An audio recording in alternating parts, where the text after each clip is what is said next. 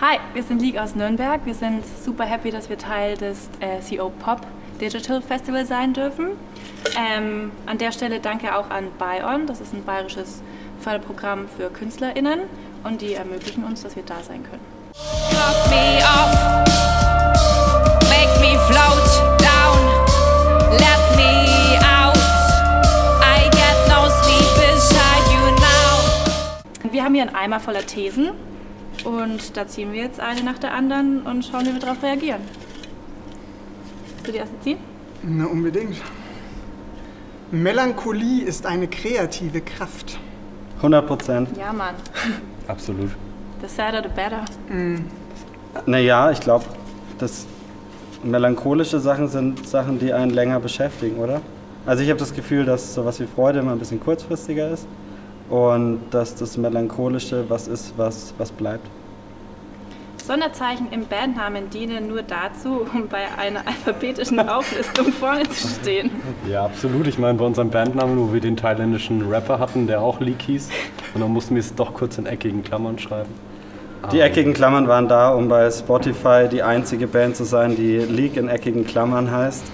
Ähm, und dann haben wir aber gemerkt, dass man bei Facebook seine Künstlerpage nicht mit eckigen Klammern benennen kann und so weiter. Deswegen heißen wir jetzt auch League. Fun Fact: Unsere Single Close-Ups ist tatsächlich unter einem falschen Interpreten League hochgeladen worden, weil es mehr gibt, die so heißen. Aber die Sache ist, wer weiß, wie man eckige Klammern macht. Ich musste immer googeln. Alt, Gr 7 und 8. Auf Danke. jeden Fall war dieser japanische Rapper echt gut und ich bin jetzt ein großer Fan von ihm geworden. Muss ich mal anhören. Oh, das ist schön. Barfuß musiziert es sich besser. Tim, Ja, die Fragen sind, glaube ich, gut auf uns zugeschnitten. Ähm, ich finde, Barfuß ist wie zu Hause. Man fühlt sich wohl beim Musik machen. Und es ist schon ein entspannter Vibe auf jeden Fall. Es riecht auch sehr heimelig. 2020, bestes Jahr, um ein Comeback zu planen. ja, Ja. Ursprünglich schon und hat auch gut geklappt. Ja, man muss auch sagen, wir hatten ja auch viele Festivals äh, und Konzerte. Und es ist natürlich schade, dass es abgesagt wurde, aber ich denke, es geht jedem so gerade. Da kann man aber auch sehr vielen Veranstaltern dankbar sein, dass sie die Anheuerung von League, die dieses Jahr angestanden wäre, sofort auf nächstes Jahr bedingungslos übertragen haben. Das heißt, natürlich steht die ganze Szene still und die haben auch alle Interesse daran, dass nächstes Jahr wieder was geht.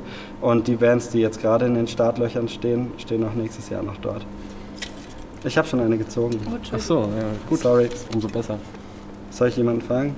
Schwarz-Weiß ist das neue Bunt. Nee. Kann man so nicht sagen. Wir haben uns irgendwann dazu entschieden, nur noch schwarz zu spielen, weil wir, weil wir nicht durch unsere Outfits noch mehr Unruhe zwischen all den bunten Kabeln und so reinbringen wollten. Und weil man sonst immer ausge sieht, aussieht, als wäre man so zusammengewürfelt, gerade von der Straße gepickt und auf die Bühne geworfen worden.